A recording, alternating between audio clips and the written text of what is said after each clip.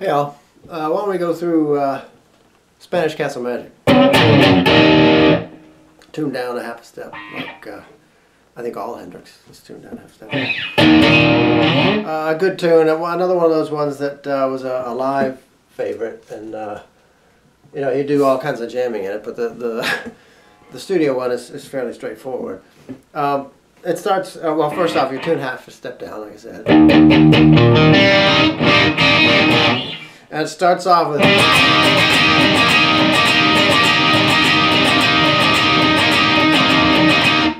Um, he, he, would do that, like on the live one, I, he, would just do it, I don't know if he nodded them in, but it seemed like it would stay on.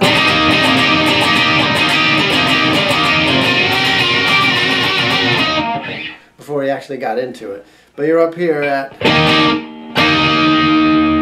up here at A, uh, E, at the ninth fret, D, G, and B.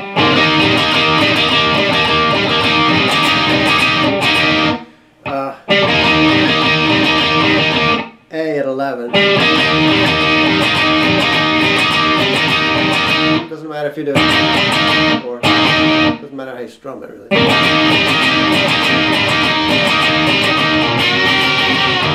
If you want to get into like the other stuff that he does, just Bend up the G at 11 with the B at 12.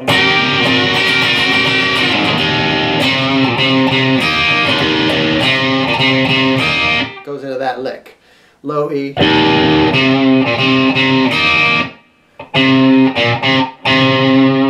A, 4, 2. Back to 4. With the B and E open.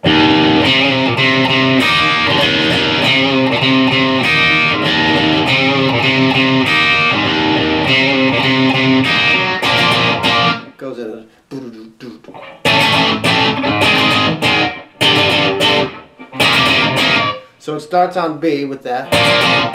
It's very far away. Down to B flat. These are five chords. A and then A flat. It hits that one at the end of it. So it's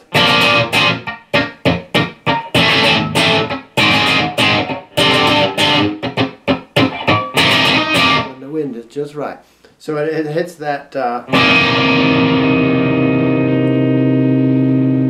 that's a, a, sharp nine chord on. Uh, just like the, the typical Hendrix chord up here at E7 sharp nine.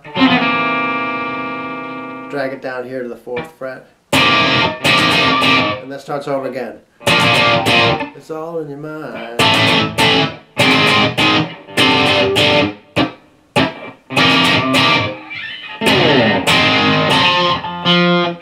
Hang on, my darling. So after that last.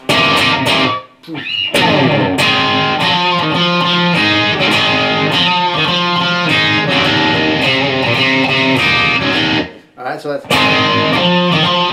Hang on, my darling. So, uh, so you want to do uh, D, G, B at the second and then the D string, four, back to four. And then you can hit the B and E open.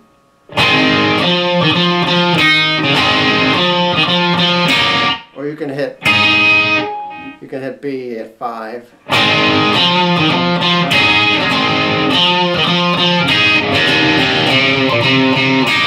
Back to that E.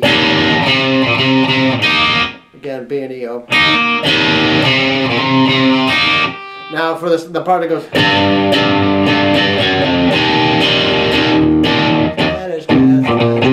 He doesn't really play the chords on there, so he'll do.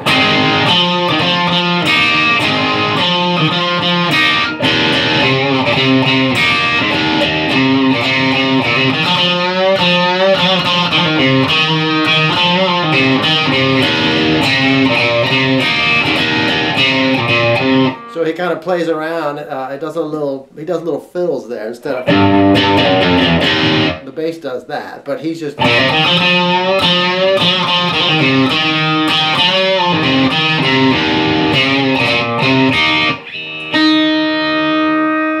Can do D bent up at four. Those little licks that you would do two four on the D string, the A string, you could even do them on the low E.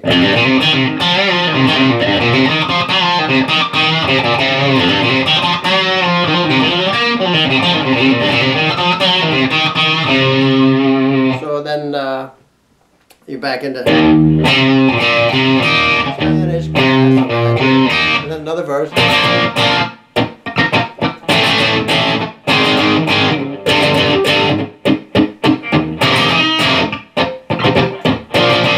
B, B flat, A, A flat, then that C sharp nine thing.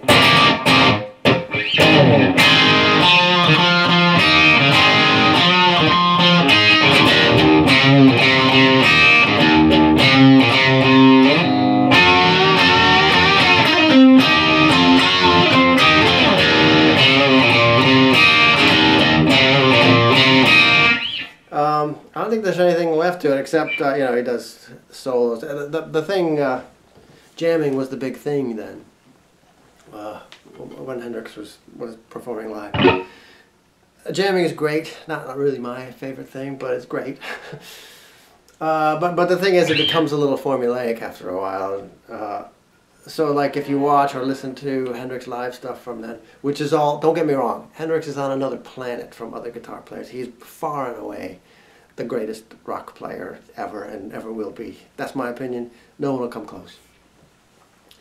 Uh, so uh, to, to sort of criticize him is absurd because he literally could do no wrong. However, um, you know, every Hendrix tune, if you, if you listen to bootlegs, they all start out rock, then they wind down to where it's almost barely even playing. It slows down and it gets very quiet, and then builds back up again, and they'll probably throw in a drum solo, maybe more than one. You know, so uh, it, every tune kind of fell into that pattern. Not every tune, but a lot of them did. And this is one of those. So it would go on, and then it would quiet down, and then it would get back, build up again. You have all that dynamic stuff going on all great. Don't get me wrong, just not my kind of uh, playing. So this is one of those songs that lends itself to that. If you want to do that kind of jamming and just see where it goes, uh, this is one where you can, where you can do that.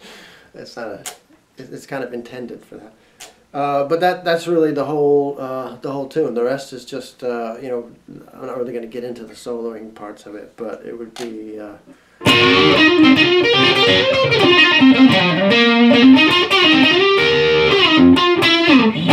lot of that kind of stuff. Uh, good luck.